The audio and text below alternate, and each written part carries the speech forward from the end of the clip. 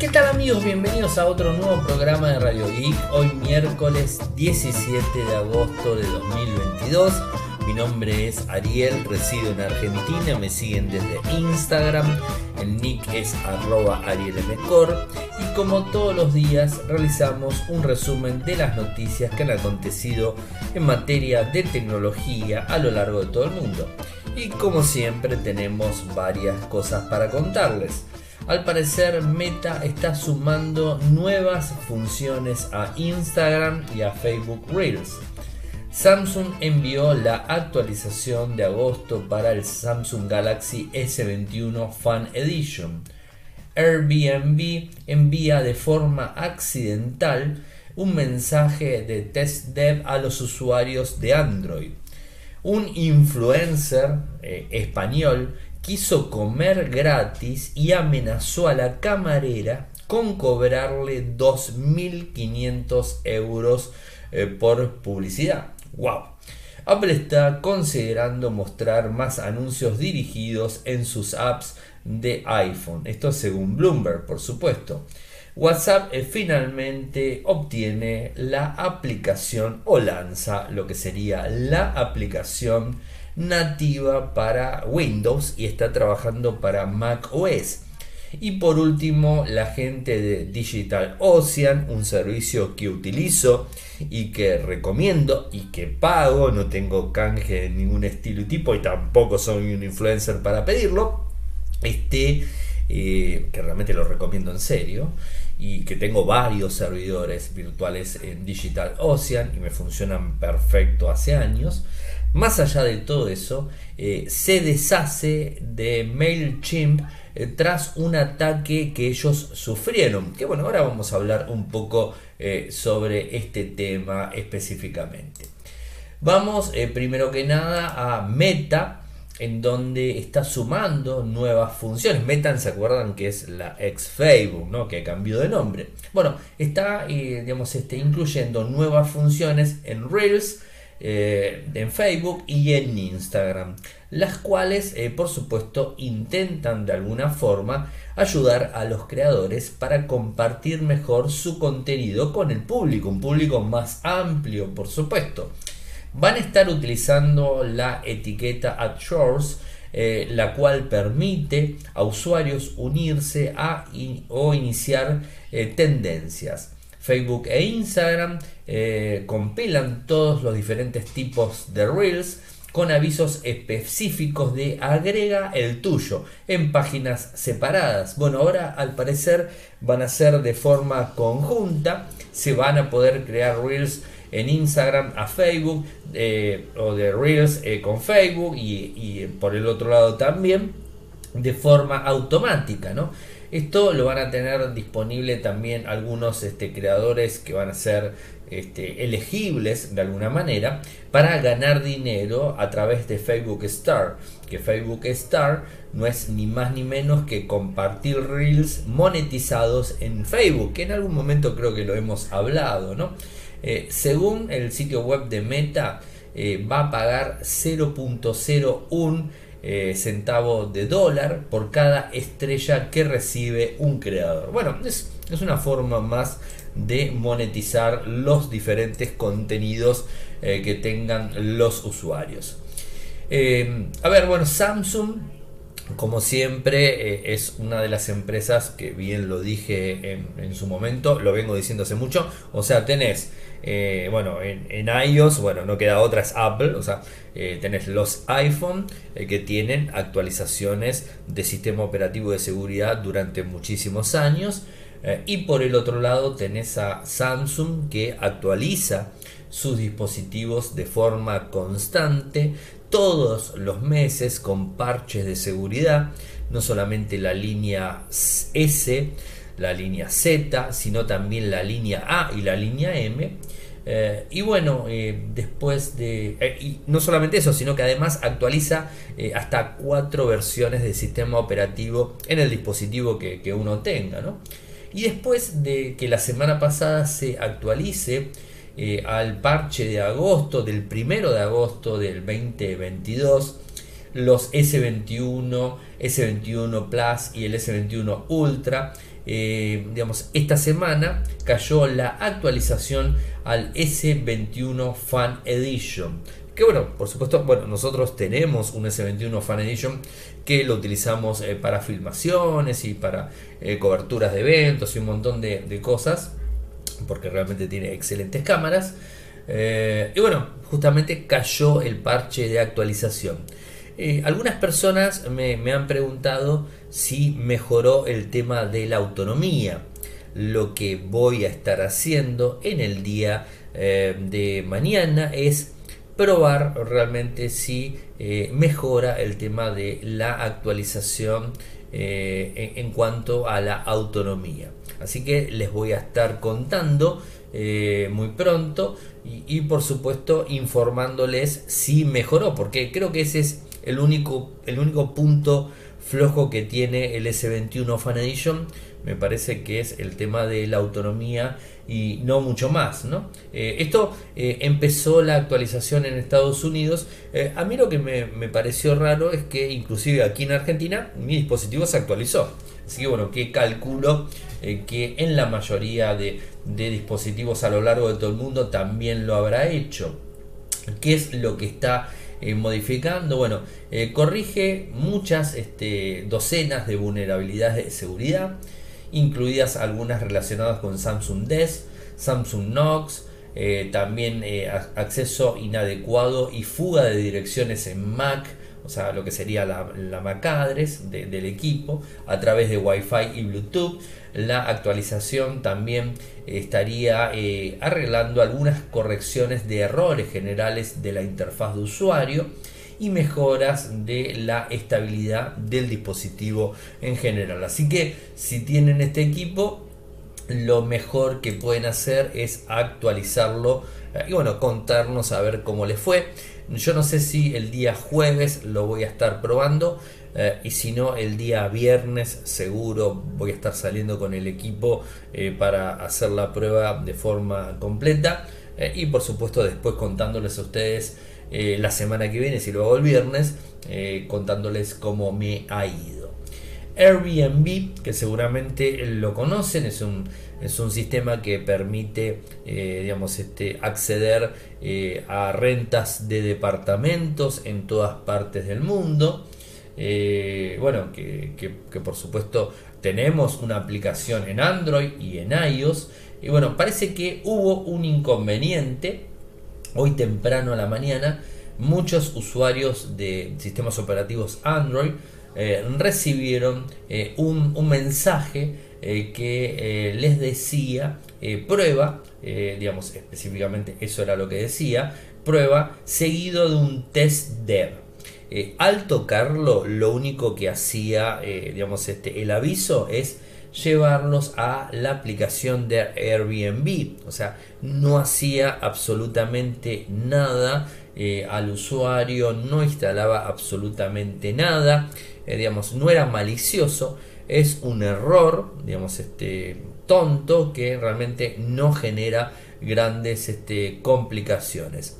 Particularmente, como ustedes ya saben, Argentina cambió muchísimo hace, digamos, casi tres años eh, por el cambio de gobierno y por la política que han implementado en relación al dólar eh, y no utilizo Airbnb en el eh, en lo que fue la gestión anterior del gobierno eh, anterior, sí utilicé Airbnb, me fue genial alquilando departamentos en la costa argentina y bueno, tengo mi usuario por supuesto, pero mm, obviamente como ahora es carísimo realmente eh, alquilar en Argentina con Airbnb, excepto que seas este, extranjero, ¿no? O sea, si venís de Uruguay, de Chile, de Brasil, de Estados Unidos, del Reino Unido, de España, donde sea, eh, por supuesto que no vas a tener problema, vas a pagar con Airbnb en Argentina departamentos porque se siguen alquilando. Pero para los argentinos es recontra caro alquilar en Argentina, como también alquilar en otras partes del mundo. Entonces lo que hice particularmente desde hace tres años es desinstalar la aplicación de Airbnb para que en mis dispositivos no ocupen espacio Eh, y bueno, de, esta forma que no lo vengo probando. Así que no les puedo confirmar si ah, me, hubiera llegado este mensaje. De cualquier forma, quédense tranquilos porque no generó ningún problema. O sea, no son, eh, mejor dicho, Airbnb, el servicio, no es el único servicio que, que tuvo este problema de enviar mensajes masivos a usuarios. Recuerdo también que Burger King en su momento lo había hecho, o sea, hay varios, ¿no? Así que eh, quedarse tranquilos si lo han recibido eh, porque no tienen problemas. Lo que sí, y anoche lo dije en el en vivo, recuerden que, que salgo eh, en Instagram a las 21 horas en donde digamos este estoy con ustedes les cuento un poquitito el tema de las noticias les hago un resumen mucho más cortito que lo que es este radio y podcast pero un resumen en sí.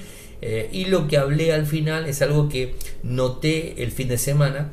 Quisieron eh, nuevamente, eh, digamos, este, ingresar de forma ilegal, por supuesto, a mi cuenta de, de Gmail.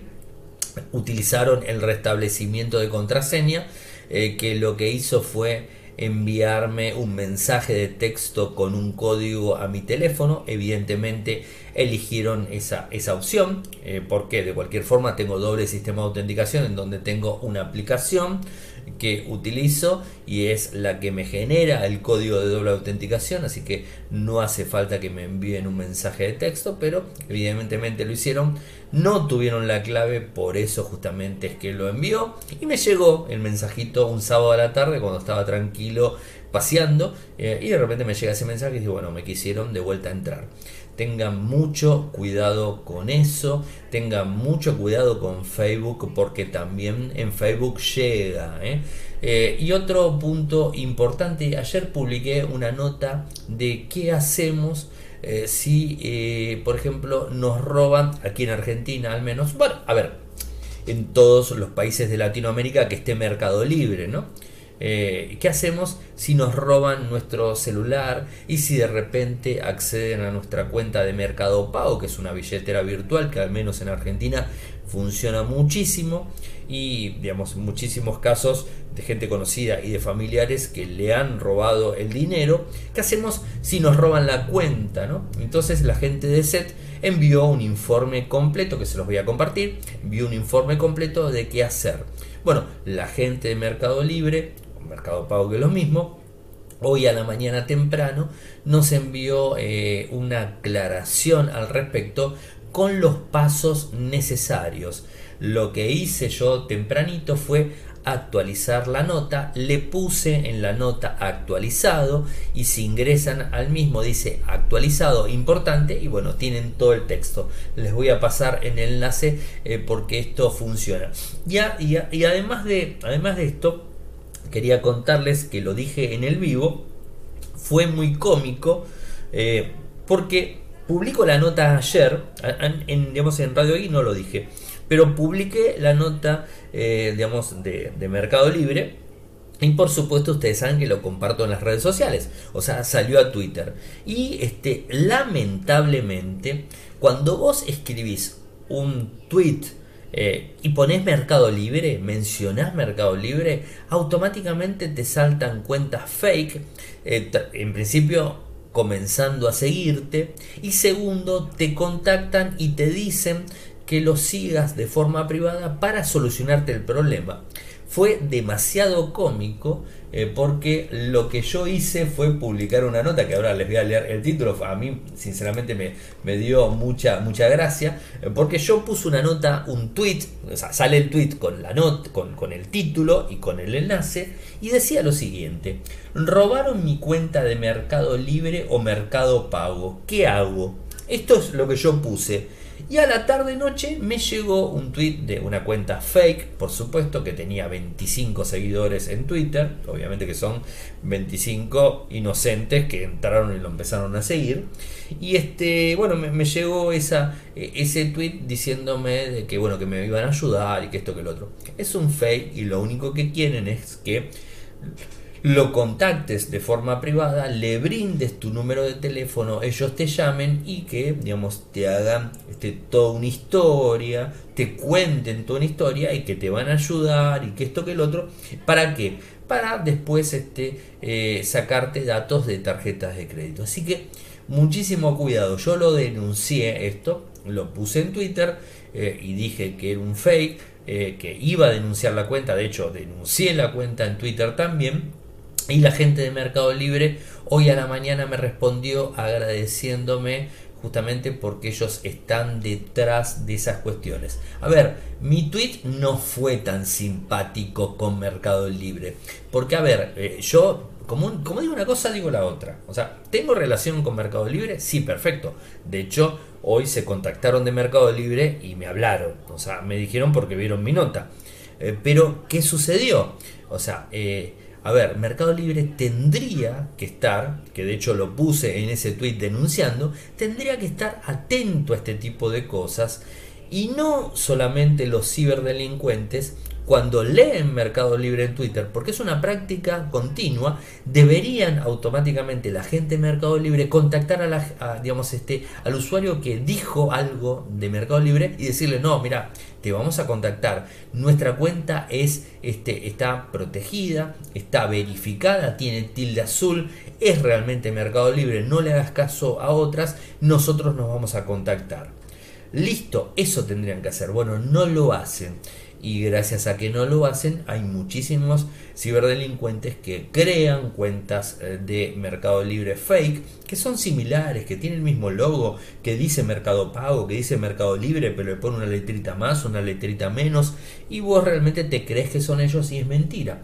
De hecho, yo ya lo conté, a principio de año caí en un 50% porque después me terminé dando cuenta que era una cuenta fake por un problema que tuve con Mercado Libre. En definitiva, eh, y bueno, o sea, este, termina, la gente termina cayendo. Y más si venís embalado y todo esto. Y digamos, este, la constante que tienen eh, los ciberdelincuentes, eh, la constante es siempre la misma. Te apuran, te hablan rápido, te tapan la voz, no te dejan hablar y avanzan y avanzan y avanzan y avanzan, excepto cuando te piden los datos para poder chuparte los datos de tus cuentas, de tus tarjetas y todo ese tipo de cosas. Así que, este, gente, eh, tranquilos. Cuando ustedes los contactan, no les den importancia chequeen realmente qué es Mercado Libre, chequeen realmente qué es el servicio tanto, chequeen qué es el banco tanto.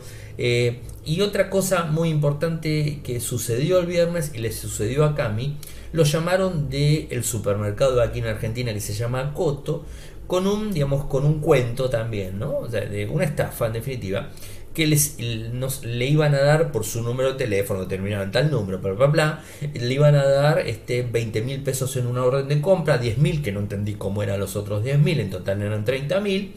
Y Cami es como que dice, no, mira, estoy trabajando, ¿para qué te pasó con mi papá? Me pasó a mí. Bueno, hablé dos segundos y automáticamente le corté. O sea, a ver, eh, lo que siempre digo, estos son estafas, digamos. Y la persona del otro lado no me dejaba hablar, no me dejaba hablar hasta que me enojé y le dije, mira, flaco, ¿me escuchás? Basta, ya está, no vas a lograr que entre en tu juego y que te dé ningún dato. Así que se terminó acá. Listo. Muchas gracias. Hasta luego. ¡Pum! Y le corté. Hay que ser contundentes. Si ustedes no llamaron al banco, que el banco no lo llame ustedes. Ustedes llamen al banco. ¿Eh? ¿Se entiende? Eh, no hagan clic en los enlaces de correos electrónicos porque la mayoría son phishing. No, ingresen al banco. Si reciben un correo electrónico del banco que dicen vulneraron tu cuenta, bla, bla, bla, del banco tanto, no hagan clic en donde dice ingrese aquí. No, no, no. Vayan a la dirección web del banco que ustedes están seguros de que esa dirección existe. Ingresen en ese lugar y fíjense.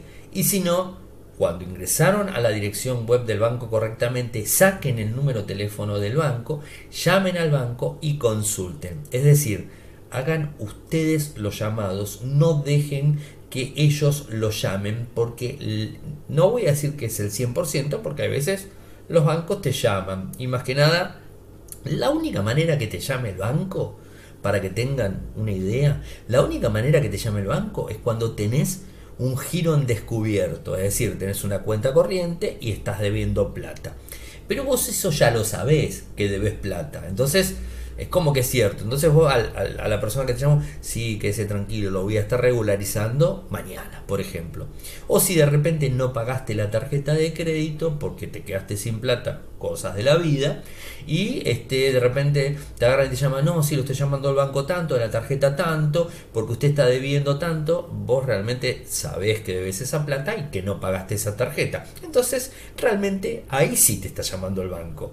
Eh, en esos casos sí, pero cuando son promociones, no gente, córtenles automáticamente, no entren en el juego porque 100% que es eh, falso y que es para generarles robo de, algún dato. O sea, siempre, de vehículos, de, lo que sea. En el caso del viernes que nos pasó a nosotros fue de un supermercado, ¿no? Que me había ganado pesos argentinos para que me escuche afuera 100 dólares. O sea, para que me escuche de afuera son 100 dólares. Es plata, obviamente.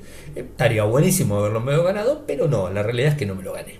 Y de última, si me hubiera ganado, Coto me habría enviado un correo electrónico, digamos, este, eh, al mío. Inclusive eh, el número de celular que llamaron es el número celular de Cami y Cami no tiene ni siquiera la tarjeta de Coto comunidad que, que normalmente tenemos en Argentina. Así que, ¿cómo sacaron que su número estaba registrado? Si el número está a nombre de ella y ella no tiene tarjeta Coto.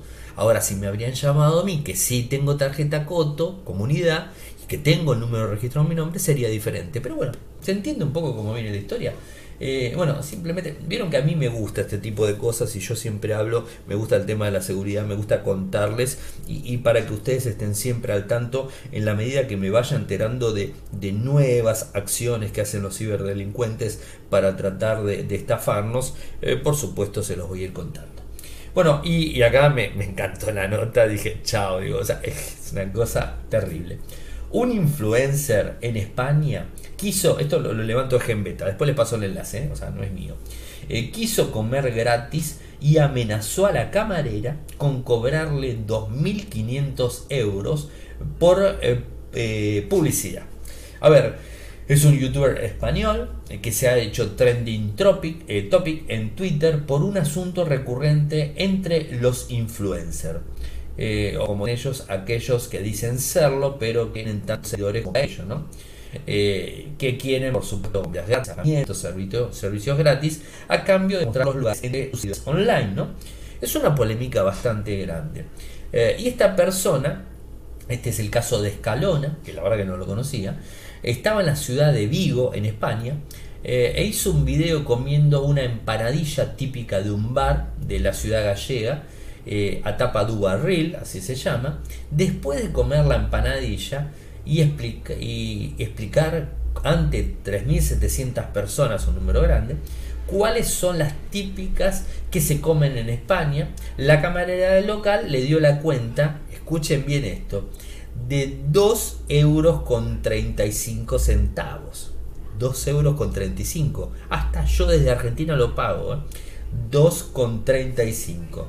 Eh, la polémica, mm, digamos, este, reside en cuanto Escalona se negó a pagar, alegando que antes de pedir su empanada, él había dicho a la camarera que él solo comía cosas que le daban gratis, aunque la mujer le dijo en ese momento que no iban a darle nada gratis este plato solo por estar hablando online con sus seguidores. Eh, de esta manera lo que hizo Escalona es amenazarlos al bar eh, para pasarle sus tarifas de publicidad que le quería cobrar 2.500 euros eh, por la promoción. ¿no? Digamos, esto eh, escaló, escaló, escaló hasta que YouTube eh, digamos, este, levantó la historia. Evidentemente lo hizo por YouTube, que tenía eh, tampoco tanta gente, 35.500 personas, tampoco era tanto un canal de YouTube, ¿no? y bueno, lo, lo, que, lo que sucedió es que YouTube lo penalizó y le cerró la cuenta, y Twitch también le cerraron los dos canales. y bueno, y ahora lo que está haciendo Escalona es tratar de, digamos, de recuperar las cosas. Esto es un poco lo que tantas veces hablo del tema de los influencers, ¿no? Y que además también hay que tener muy en cuenta que muchas personas terminan comprando seguidores, ¿no? Y por más que tengas 100.000 seguidores, muchas veces sale. Para que tengan una idea, miren, les cuento rápidamente. Aquí en Argentina, eh, y no porque yo, a ver, yo no compré nada, pero por supuesto me llegan ofertas, o sea, siempre llegan ofertas de este tipo de cosas. Eh, me han llegado hace poco, y, por eso lo recuerdo, eh, me llegó una oferta para venderme 100.000 seguidores. Me estaban cobrando, si los quería, por supuesto, en Instagram, 40 mil pesos. 40 mil pesos son 125 dólares, por ahí más o menos, 120 dólares, una cosa así. Y me daban 100 mil seguidores, y además de, o sea, lo que yo tenía, me sumaban 100 mil seguidores. Y además me daban, no me acuerdo, eso sí que no me lo acuerdo, cuántos este, likes. Y yo podía elegir, miren esto, fíjense qué bien que está hecho. Yo podía elegir si quería likes en fotos o en videos, ¿no? Y de alguna forma también comentarios. No sé cómo lo hacen, no tengo ni idea. Eh, así que realmente no fiarse tampoco de, las cuentas que tienen tantos seguidores, porque la gran mayoría termina comprando los seguidores. Conozco muchísimos que lo han hecho y que, bueno, es lamentable. Eh, particularmente, ustedes bien saben, yo, a ver, esperen que me voy a fijar y les digo eh, puntualmente, tengo en Instagram 2086 seguidores, pero son reales, o sea, son, eh, como yo digo, de forma, o no, como yo digo, como se dice, de forma orgánica. Orgánica significa que son seguidores que realmente me siguen. ¿Habrá algún fake? No creo que no haya, seguro, pero yo no lo busqué. O sea, imagínense que no voy a comprar 2000 seguidores, o sea, no, no, sirve. 2.000 seguidores, 2.086 seguidores. En TikTok tengo 3.900 y pico. Tengo más en TikTok, ¿eh? Y tengo mucha más mirada en TikTok que en Instagram. Eh, y después este, en Twitter tengo 4.800, una cosa así. Por ahí ando. Y en, en, YouTube tengo 11.000 y pico también de, de, suscriptores. No compro seguidores yo. O sea, no hay que comprar.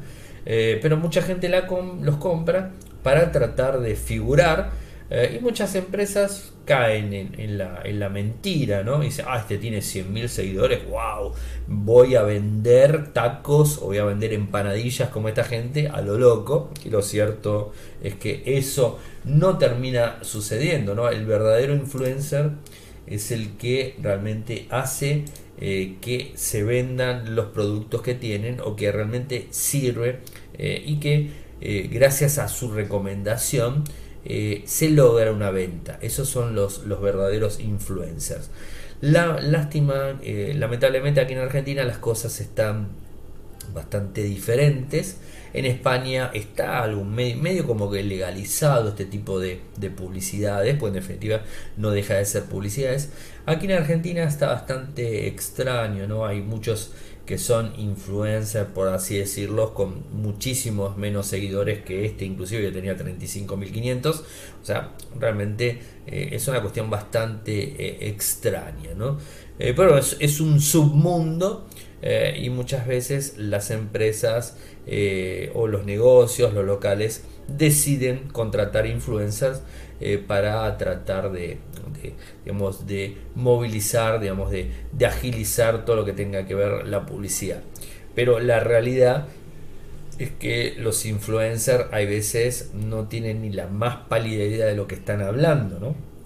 Esto sucede de forma constante, a mí en tecnología me pasa, no voy a decir ni qué empresa ni nada, pero hace un tiempo fui a un evento en donde éramos pocos, porque todavía estamos un poco limitados con la, con la concurrencia por, por la pandemia, y de 20 personas éramos cuatro periodistas y los demás todos influencers, chicos y chicas muy jóvenes, o sea, muy pero muy jóvenes, de 20, de 25 para abajo, ¿no? Así que realmente una, una historia. Así que bueno, eso para que lo tengan en cuenta. Eso me está avisando que tengo que hacer el en vivo de Instagram.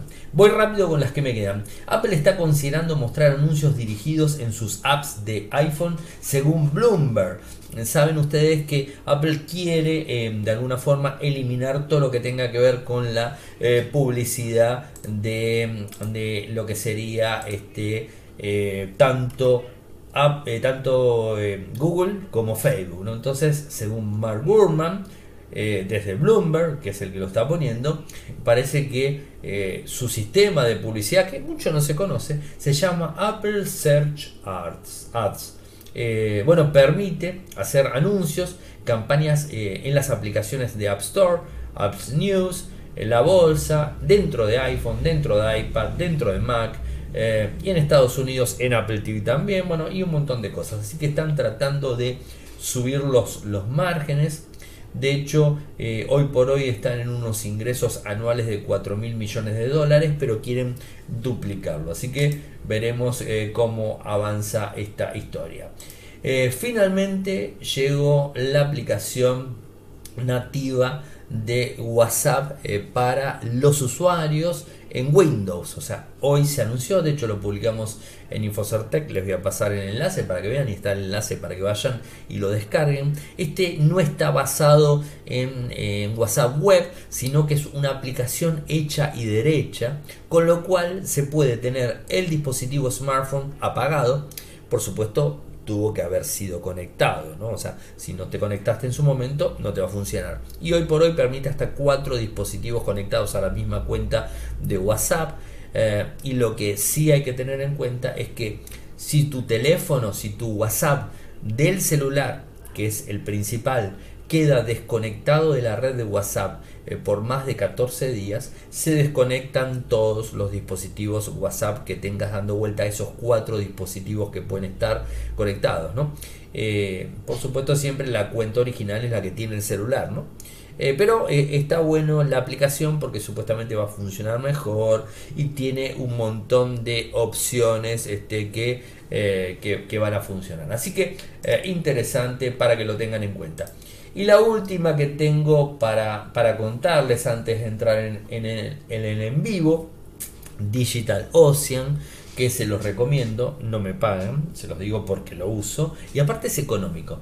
Digital Ocean, que tiene sus servidores en Estados Unidos y que permite contratar servidores virtuales con un montón de, em, digamos, este, ahí no me sale, eh, de forks, iba a decir, pero no lo son. Eh, bueno, o sea, puedes instalar máquinas virtuales con un montón de dockers, ahí me salió, eh, y que funciona perfectamente, y que estaban utilizando el servicio de marketing en mail, MailChimp bueno, al parecer MailChimp tuvo un problema de seguridad, se filtró las eh, digamos, este, eh, usuarios en general, entonces Digital Ocean se bajó de este servicio y ahora va a empezar a utilizar otro servicio. Por lo, por lo que tengo entendido todavía no hay proveedor eh, pero bueno, va a haber muy pronto. El 8 de agosto descubrieron que su, que su cuenta de MailChimp había sido comprometida, afectando a sus clientes y dirigido al mundo de las criptos y el blockchain. Sospechan que debido a un incidente de seguridad en MailChimp directamente. A partir de este incidente, varias cuentas de correo electrónico de clientes de Digital Ocean podrían haber quedado expuestas. Desde Digital Ocean indican que a día de hoy se han puesto en contacto con los responsables de cada cuenta para modificarlo. Y a partir del 9 de agosto a las 11 pm, Digital Ocean habría migrado todos sus servicios de correo electrónicos críticos fuera de eh, MailChimp. Así que eh, importante, utilicen el sistema de doble autenticación porque le soluciona este tipo de inconvenientes. Gente, eh, rápido les cuento que mañana no voy a hacer, eh, eh, no, sé si, no sé si voy a hacer programa, no lo sé, porque a las 19 horas Argentina, o sea, voy a estar en la calle, voy a estar en el evento de Xiaomi Argentina o Ethercore, que es la empresa que está detrás de Xiaomi en Argentina, que es el importador. y bueno, voy a estar conociendo los nuevos productos que va a estar lanzando la empresa. Pueden seguirlo de, Xiaomi em, Argentina Oficial eh, en Instagram y van a poder seguir el evento en línea. Yo lo que voy a estar haciendo es conociendo los dispositivos porque no solamente van a traer teléfonos, lo que sabemos que van a traer es el Redmi Note 11 y 11 Pro, calculo. Esos son los que van a traer y después no sé qué más. Eh, y van a traer dispositivos a la Argentina. Les voy a estar contando eh, quizás el viernes o quizás en un audio cortito, no tengo idea, no tengo ni idea a qué hora voy a llegar a casa. Está bastante lejos el lugar de mi casa y en transporte público se complica un poco la cosa a la noche. Y salgo de temprano a la mañana eh, para trabajar en una de las cuentas en donde trabajo, así que no voy a poder grabar el podcast, tampoco voy a poder salir en vivo. Aunque en el en vivo no se los esté eh, no se los descarto, porque quizás eh, en, el, en, el, evento salga en, Instagram en vivo. Eh, y de paso les muestre los productos ahí en vivo, en el lugar, ¿no? así que bueno, estén, atentos, les voy a avisar en Twitter, en, en, Telegram y en Instagram les voy a estar avisando, Ariel Mecor por supuesto, y ahí les voy a estar avisando para que sigan esa parte en vivo y cualquier cosa después eso lo subo como si fuera formato podcast. Bueno, gente, saben que pueden seguirme desde Twitter, mi nick, arroba arielmecor, en Instagram, arroba arielmecor, en Telegram, nuestro canal, Radio y Podcast, en YouTube, youtube.com barra Infocertec. Eh, ¿Qué más? En nuestro sitio web en Argentina, infocertec, eh, en Latinoamérica, infocertecla.com. Eh, si no los vuelvo a encontrar por este lado en el podcast, el lunes seguramente vamos a estar. Si no los encuentro, buen fin de semana. Y si no, mañana este, nos encontramos nuevamente por este lado. Abrazo grande, gente. Y muchas gracias por escuchar. Chau, chau.